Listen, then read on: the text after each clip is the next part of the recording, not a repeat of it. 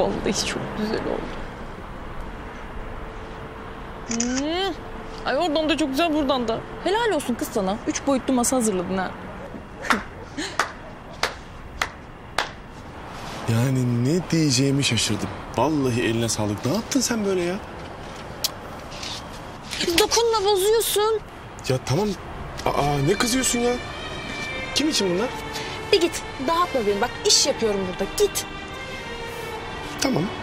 Bölmeyeceğim. Sadece şuraya oturabilir misin? Ne olur. Vallahi bir şey yok. Otur. Hadi otur.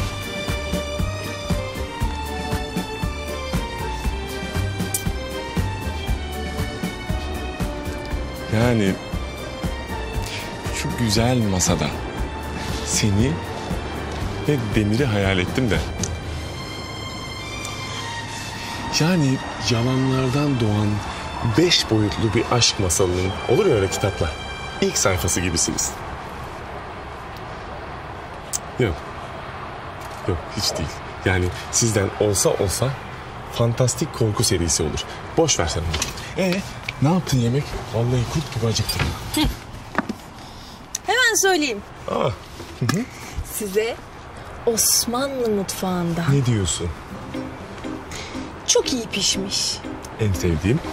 İki parça tokat ve meze olarak da okkalı üç boyutlu laflar hazırladım. Ateş bir git kardeşim bir git. Tamam ya ortak ne kızıyorsun? İki gülelim dedim yani ne var şimdi? Neyse sen boş ver onu da bu güzelliğin sebebi ne sen onu söyle bana. Sunum alternatifleri hazırlıyorum. Şimdi ben dünya markası, yani biz dünya markası olacağız ya. Sunumda da imzam olsun istedim. O yüzden çeşit çeşit deniyorum şimdi. Hangisi daha güzel olur acaba diye.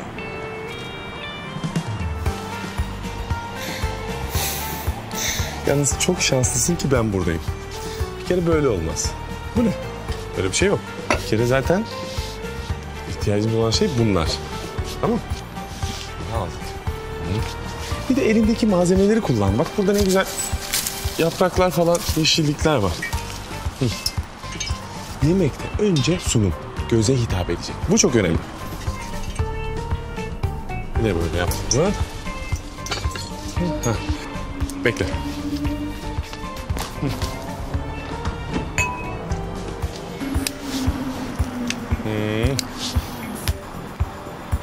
Ufak bir ateş dokunuşu.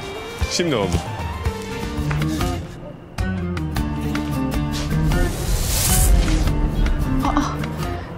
Yalancılar. Yani siz evli değilsiniz, bal gibi de sevgilisiniz.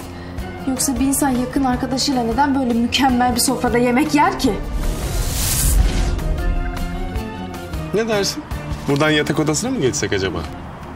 Ateş Avcı, şunu bil ki ben mutfakta ne kadar becerikliysem yatak odasında da o kadar becerikliyim. Sen kendine bak. Biz çok yanlış bir zamanla geldik herhalde. Çok, çok. Aa ne oluyor Demir? Ayşen. Aa ne oluyor ya? Ben burada tatlı tatlı sunum hazırlıyordum. Ne bu tavırlar? Ayıp oldu. Niye ayıp olsun? Yasemin çok ayıp oldu.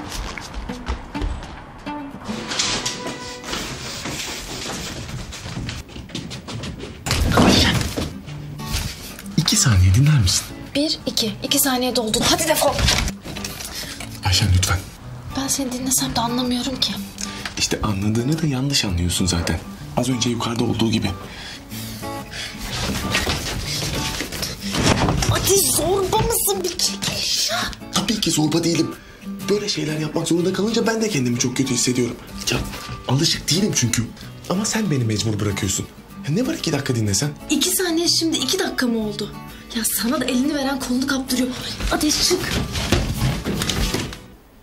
Eğer bana elini verseydin böyle bir detayı asla atlamayacağımı sen de çok iyi biliyorsun.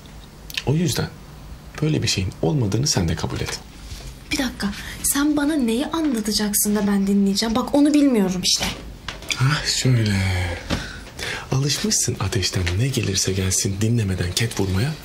Bak çatı katında gördüklerin tamamen bir yanlış anlaşılma. Bunu söylemek için gelmiştim buraya. Ya ben neyini yanlış anlayacağım? Öyle değil dediğin her şeyi full HD izliyorum. Ben neyini yanlış anlayacağım Ateş? Yasemin'le biz sadece sunum çalışıyorduk. Hepsi bu. Evet çok da güzel sundunuz marifetlerinizi. Ateş bak. Birincisi Yasemin'le aranda ne varsa bu beni hiç ama hiç ilgilendirmiyor. Bu ilgilendirmemiş halimi. Bölme beni. İkincisi söylediği ve bundan sonra söyleyecek olduğun hiçbir şeye inanmıyorum. Ayşen bak. Ateş, ben filmlerde görmediğim numaraları sende gördüm ya.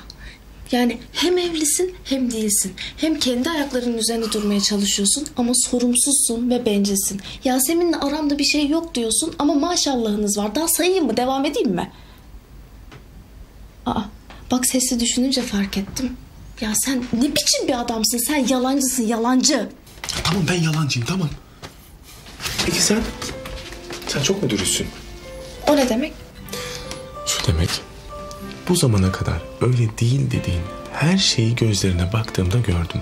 Ama sen hala, Ne ama ben hala. hala seni kıskanıyorum diyemiyorsun.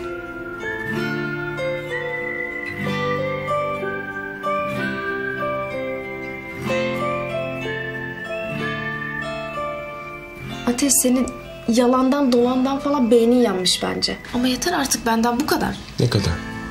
Ateş defol. Tamam. Sen sus.